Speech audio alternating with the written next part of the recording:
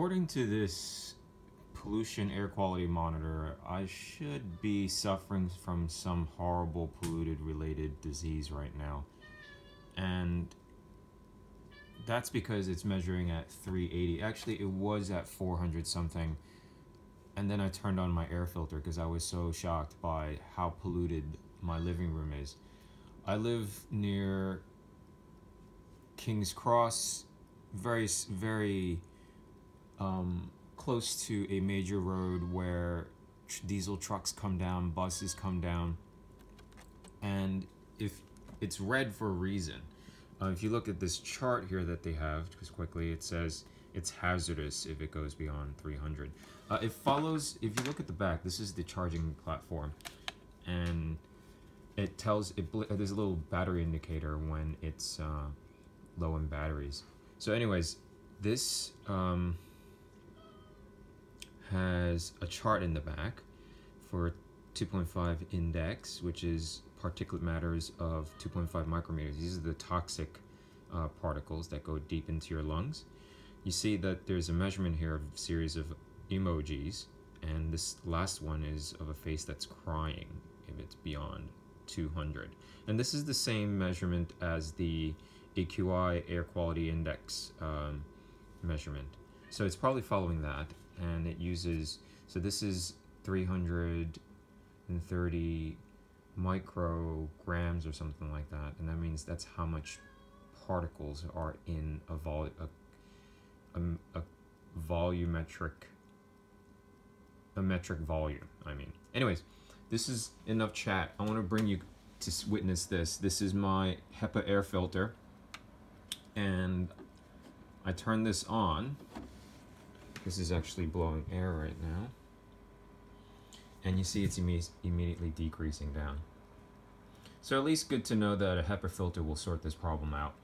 But that means I don't know how long I have to leave this on.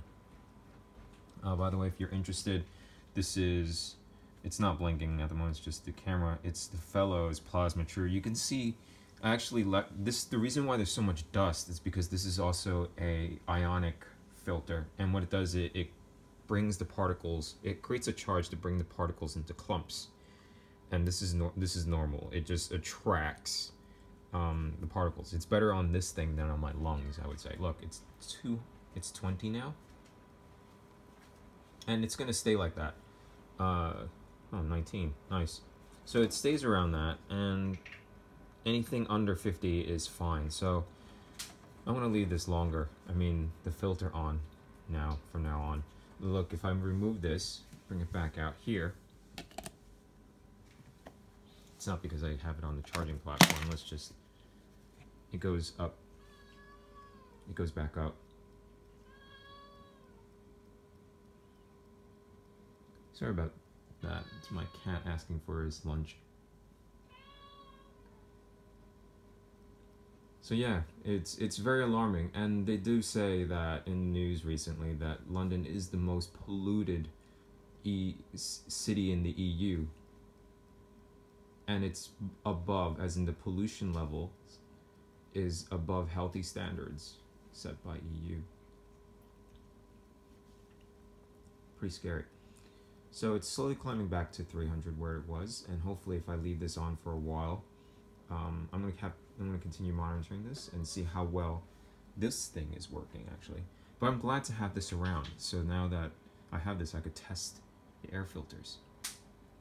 Uh, by the way, this is this temperature says 24C and humidity is 60%. I actually believe that. Um, it does feel like 24C in this room. And uh, I, I do have a humidifier um, in the flat that tells me roughly around the same numbers. So uh, hope you enjoyed the review. If you want to buy one of these, I have an Amazon link uh, in the description. Have a nice day.